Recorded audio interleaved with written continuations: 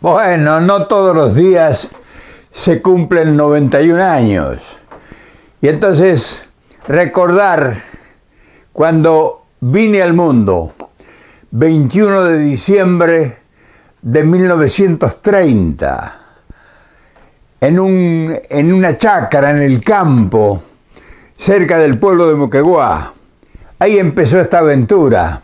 Y mira dónde estoy. Y entonces ¿qué te puedo dar como, como ejemplo? O no me gusta dar consejos, sino como una sugerencia para que la vida se prolongue tanto.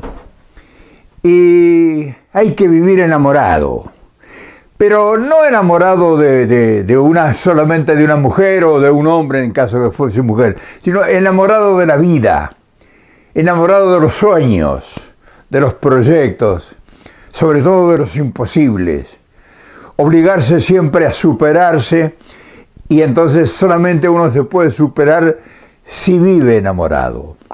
Claro, yo quería hoy traerte a mis 91 años algún ejemplo, algo que te pueda ser útil para que llegues no solamente a mi edad, sino que pase. Yo, por ejemplo, todavía no he pensado en morirme. O sea, todavía no he hecho mi último video. O sea, estoy funcionando. Y claro, para funcionar hay algunas cosas comunes que se pueden hacer. Y quizá te sirva, quizá por lo menos lo tengas como una referencia. Como te dije antes, la vida significa un gran proyecto. O sea, toda vida es un proyecto. Es todo por hacer. Desde que se nace hasta el último minuto, hasta el último instante, uno está intentando hacer algo. Ya en los últimos tiempos por resistir, eh, por no, no tomársela de Villa Diego. Pero siempre ha sido una constante de tratar de avanzar, de tratar de que vayan quedando las cosas imposibles en el camino y si es posible haber vencido la adversidad, o sea, haber eh, eh, puesto intensidad en la lucha, en los propósitos, y fijarse metas. Y fijarse metas realmente provocadoras, o sea, metas que realmente a uno lo hagan salir de lo común, salir de la comodidad, salir del lado eh, quieto, del lado de la tranquilidad, del lado de la, de la pasividad. Y esa imposición, esa manera de inyectarse fuerza, para motivar la vida eh, se llama sueños, se llama propósitos, se llama esperanza. Y rodearse de lo mejor que uno pueda, rodearse de, gente que eh, lo acompañe y gente que lo provoque. O sea, a veces cuando te sientas provocado no te enojes, sino que eh, después trata de guardarte las respuestas o las broncas o, las cosas que te, que te incomodan y piensa en eso, que a lo mejor fue un golpe de atención para algo que estabas haciendo mal o que pudiera ser una provocación para ver tus capacidades. Yo he llegado a 91 años muy contento, una linda familia, cuatro hijos, que me siento orgulloso de mis hijos, tengo 10 nietos, tengo hasta bisnietos tengo dos o tres, tres bisnietos, o sea que he cosechado bastante. He sembrado mucho también. Me he equivocado un montón de veces, un montón de veces, pero cada equivocación, o sea, cada error, significó un aprendizaje. O sea, si algo he aprendido en la vida que hace que te despierte curiosidad mi presencia, ha sido que he cometido muchos errores y que me he equivocado muchas veces pero todo lo he tomado como un aprendizaje y he buscado superar esas instancias. Y he tratado de dar lo mejor que tengo. No he sido ambicioso, o sea, no he sido, posiblemente no he tenido esa virtuos, virtuosidad o defecto de querer posesiones, de acumular riqueza, aunque tuve oportunidades, como todas las cosas que uno tiene en la vida. Oportunidades se presentan, sobre todo quien anda tan tiempo caminando por el, por el mundo. Tengo grandes recuerdos, eh, afectos entrañables. ejemplos que me quedaron grabados, amigos inconmensurables, no grandes, extraordinarios. Muchos se enojaron conmigo, muchos dejaron de ser amigos, sin embargo yo siempre seguí eh, apreciando sus valores, recordándome sus cosas positivas. Nada, nunca me distrajo lo negativo. O sea, cuando veo alguna cosa negativa, incluso si estoy viendo un espectáculo negativo, me levanto y me voy. O sea, no quiero perturbar mis sentimientos. Todo eso a lo mejor te sirve. Y he llevado un método de vida tratando de ser lo más sano posible. O sea, no me, no me he fundido en los vicios, eh, por ejemplo, el tabaco, a mí nunca me llamó el licor, o sea, nunca fui a los extremos. Sí sé tomarme mi copa de vino, mi copa de coñac cuando ameritan, mi tequila, o sea, sí, no, no te voy a decir que no, pero tomo la medida, lo que mi eh, resistencia soporta, no me exijo demasiado. Y lo mismo en todos los órdenes, nunca me he desbordado. Y eso ha sido, eso me ha ido posiblemente prolongando la vida, llevando una vida sana, practicando algunos deportes a medida que pasa el tiempo y ahora ya en la vejez, los últimos 20 años, o sea, de los últimos 20 eh, años, desde los 70 en adelante, he amenguado la marcha y he planificado cada detalle de la vida. La comida, por ejemplo, ya no como lo que comía antiguamente, o sea, los, esos desbordes pantagruélicos que a veces en la juventud no se mide. Eh, he buscado, seleccionado, mi compañera ha sido muy efectiva en, señalarme las comidas sanas y saludables, o sea, los alimentos. Es muy importante para prolongar tanto la vida como te alimentas, no comer cualquier cosa. Ya uno en la vejez o ya en la madurez debe ser cuidadoso para cuidar el, organismo, o sea, eh, tratar de estar enfermo lo menos posible y visitar al médico si es posible, si siente algún inconveniente, no tratar de no darle importancia. O sea, hemos eh, sido cuidadosos, prolijos en cuidar de la vida. Y Todavía sigo yo, por ejemplo, ahora no estoy saliendo estos días porque está muy frío, está haciendo mucho frío acá en el norte, en el norte del continente. Yo estoy, como sabes bien, en Oregon, casi en el polo norte, o sea, lindando con, con Canadá. Y claro, me cuido porque los fríos intensos, sí, voy al, cuando no llueve o no hace mucho frío, voy, pero camino por el bosque una hora diaria o por lo menos 45 minutos. Ese es el secreto. O mantener el cuerpo um, activo permanentemente, no estar apoltronado, sentado, sin movilizarse. Leo mucho, me ocupo mucho de trabajar en, el conocimiento de las cosas eh, futuras, de los, del progreso, estoy enterado de lo que pasa en el mundo, me interesa, me, me convocan las cosas que suceden. Mm, siento a veces que, que, ya no voy a poder participar para poder aportar nada, pero por lo menos me quedan unos últimos hálitos de esperanza y de fuerza, y eso es lo que estoy em, modestamente tratando de, proporcionarle a mis amigos. Tengo la fortuna que están ustedes, o sea, no mucha gente tiene la fortuna de tener, aunque sea mm, virtualmente, 85, 86 mil amigos.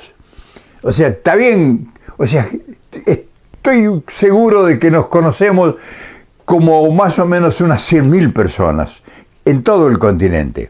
Un sueño que yo tuve de, infancia, pero nunca me imaginé que pudiera haber, llegar, llegarse a la realidad.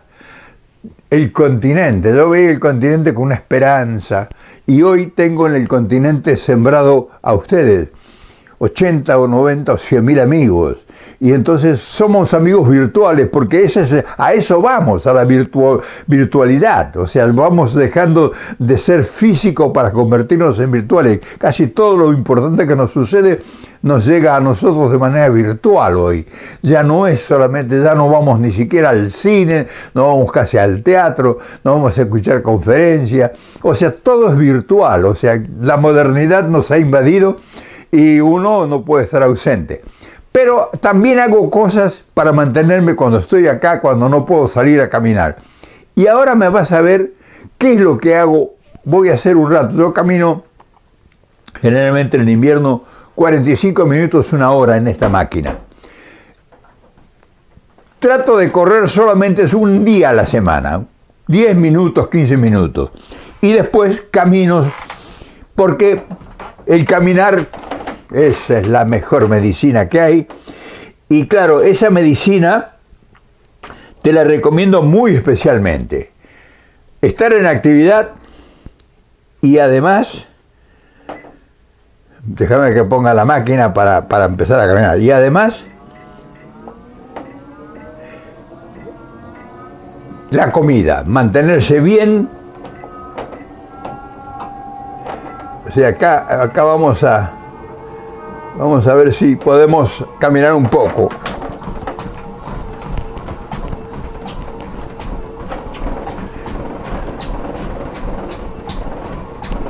Es muy importante mantenerse activo, o sea, mantenerse de tal manera que uno pueda sentirse en plenitud y no estar arrumbado en una cama o en un hospital.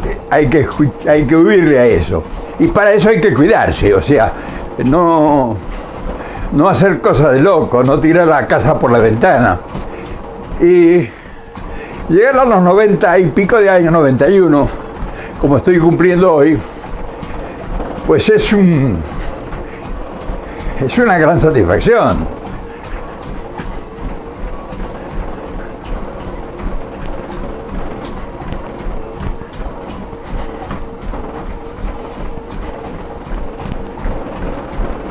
Puedo seguir más o menos 10 minutos, 15. Después camino.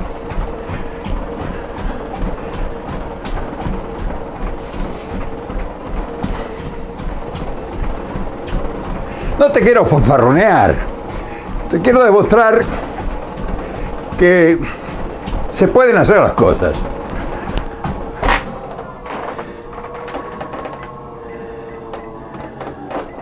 O sea, tampoco me voy a hacer el, pende, ¿no?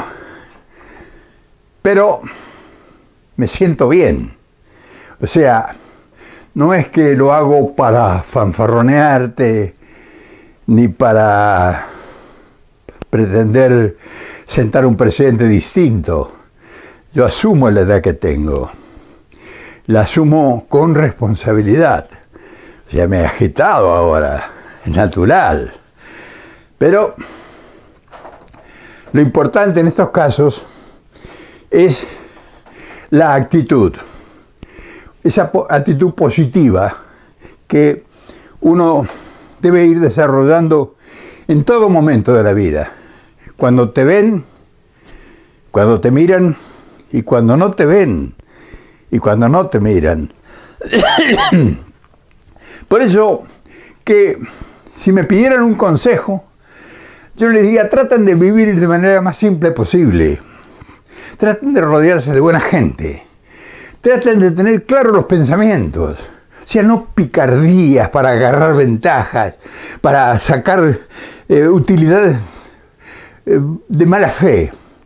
Porque al fin y al cabo no llevamos nada, no nos llevamos nada de esta, etapa que hacemos. O sea, yo tengo mis creencias. Yo creo que la vida no termina cuando uno se muere en este plano. Pero no me llevan las religiones a, a desvelarme, no te creas. He estudiado las religiones. No te creas, he estudiado, he leído mucho sobre religiones, sobre creencias, he leído sobre iluminados, sobre santos, sobre enviados, sobre... O sea, te he leído la Biblia tres veces y ahora estoy estudiando la Biblia, pero no la Biblia, estoy estudiando a los grandes maestros que a lo largo de los tiempos han estudiado la Biblia y su historia. Yo no te estoy hablando de nada religioso. ¿Por qué? Porque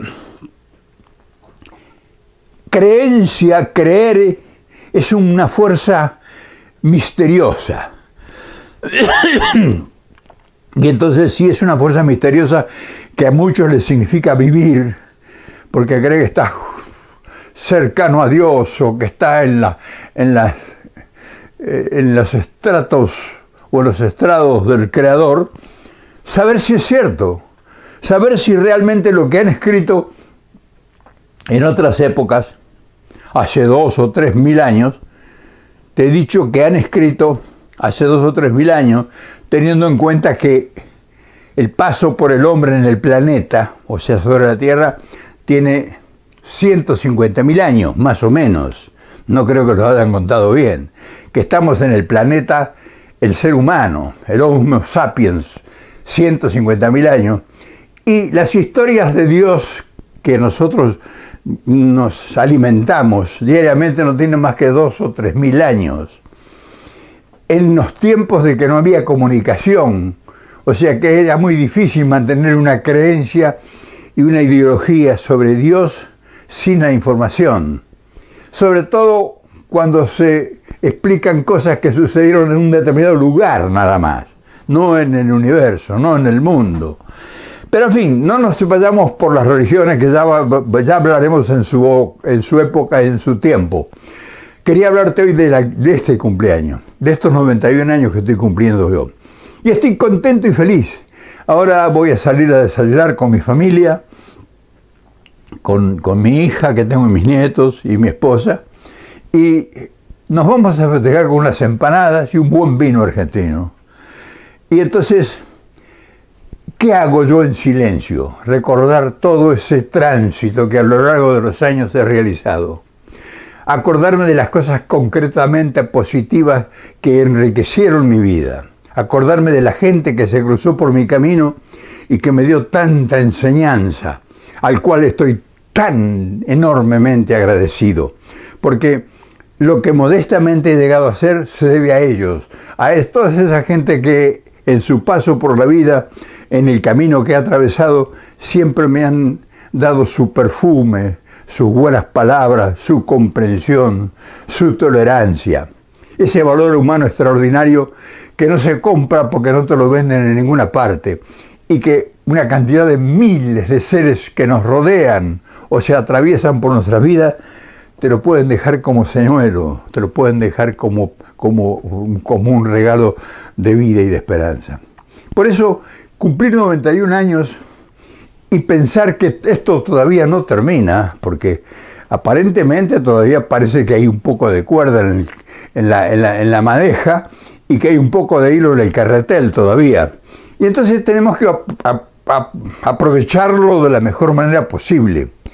Y aprovecharlo en la, mejor, en la mejor manera posible no es capitalizarlo en bienes temporales, porque yo sé que ya estoy en el final y todo esto que tengo no me lo voy a llevar. Imagínate si tuviera millones de dólares o de libras o montones de oro o tuviera estancias o campos o riquezas inconmensurables. Viviría una tragedia. Pero afortunadamente a mí eso no me quita el sueño. O sea, yo caigo a la cama y duermo. Eso es muy importante. Y vuelvo a resistir con la intencionalidad de explicarte que si querés llegar lúcido y sano, come sano, come bien, alimentate bien, no comas, no creas que lo te digo porque yo a mí me ha sucedido. Yo creía que comer abundante carne, por ejemplo, y, cosas que, me, me, dejaban, o pastas hasta hartarme, y yo no sabía que eso me era una lección extraordinaria contra mi organismo, que estaba atentando todos los días contra mi circulación, contra mi sangre, contra mi digestión, contra todo lo, que compone mi organismo. Entonces, afortunadamente, ya al final de nuestras vidas, de mi vida, o por lo menos lo que creo, eh, he aprendido a comer. Te lo sugiero que te ocupes de eso. A lo mejor no sé, no es tarde. Aprende a comer no aprendas a hartarte. Ten medida, o sea, disfrutar de las cosas con la plenitud que sea, pero en la medida que sea, porque eso te va a prolongar la vida, Pero no es que prolongar la vida y andar dando tumbos con 200 bastones en la mano y que te lleven de, la mano como o en una silla de ruedas, no, que estés lúcido, que estés con la mente clarificada, con el pensamiento y el sentimiento impoluto, en plenitud, y que camines hasta el último minuto de tu vida. Cuando te vayas, que te vas a ir a un lugar seguramente que ha de ser totalmente distinto a este. Yo no creo que se termina todo. Esto no se termina. No se puede haber terminado lo que uno ha acumulado como conocimiento y esa transformación extraordinaria que en todos nosotros se ha dado. O sea, no es que en mí solamente, todos nosotros, ustedes sobre todo y los demás, todos hemos cambiado. Desde que nacimos hemos evolucionado y hemos tenido todas las oportunidades de la vida para hacer cada día mejor nuestra existencia y toda la gente que nos pusieron ahí para ver cómo los tratábamos. Sí, me escuchaste bien. Gente que nos pusieron en nuestro paso para ver cómo nosotros los tratáramos, los tratábamos. Entonces, todo eso son aprendizajes que yo quería dejártelos como un recuerdo, porque posiblemente dentro de cuatro, cinco o diez años más, no sé, o sea, no, no sé cuánto será, será lo que eh, el organismo aguante, eh, yo me voy a ir, indefectiblemente, y va a pero va a quedar, como te dije antes, este recuerdo virtual porque la vida va tendiendo a hacerse virtual. Ya voy a hacer un video sobre ese tema en unos días de esto. La virtualidad de nuestra existencia, el cambio de nuestra existencia y la transformación de nuestros organismos. Pero eso es otro tema. Por eso quería hoy yo, con la alegría enorme que me caracteriza, encontrarme con ustedes, dejarle este mensaje lleno de amor, lleno de ternuras del sentimiento, de agradecimiento infinito de saber que hay ochenta y tantos mil personas ahí que de alguna manera, ya sea con su indiferencia o ya sea con la atención, van a pasar por este video. Y este video va a quedar en el tiempo como todas las cosas que quedan en el tiempo, virtuales. Entonces, te dejo el recuerdo apasionado de quien quiso ser amigo tuyo. O sea, yo salí al encuentro y tuviste la, eh, la, maravillosa eh, sensación de presentarte frente a mí. Y yo te agradezco que te hayas tenido un día en mi puerta y que te hayas ocupado de decirme hola, ¿qué tal Abel? o don Abel o como, se, como fuere. Te agradezco todo eso, te agradezco infinitamente cuánto haces por los demás, porque somos parte de un todo política, emociones, sentimientos, creencias, todo forma parte de nosotros. Así que cuando cumplas tus próximos 91 años, como en este caso, espero que nos encontremos en alguna parte. Porque seguramente nos vamos a encontrar en alguna parte, en algún momento y con alguna otra vestidura es posible.